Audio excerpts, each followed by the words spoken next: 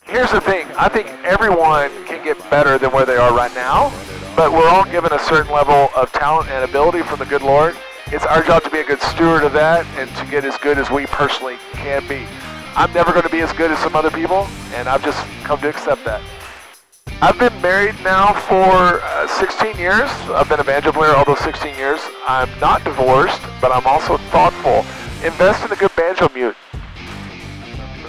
I would agree with you. That is false. I used to think that playing fast was most important, but the older that I've gotten, the more that I like to just groove. And I find that a lot of other banjo players, as they mature, they feel the same way. It's about the tone, it's about the feel, much more than the speed.